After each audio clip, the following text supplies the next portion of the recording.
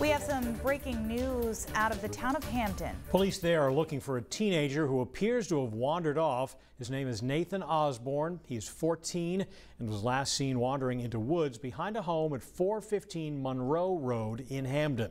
However, he may also be somewhere on Hackett Road in Winterport.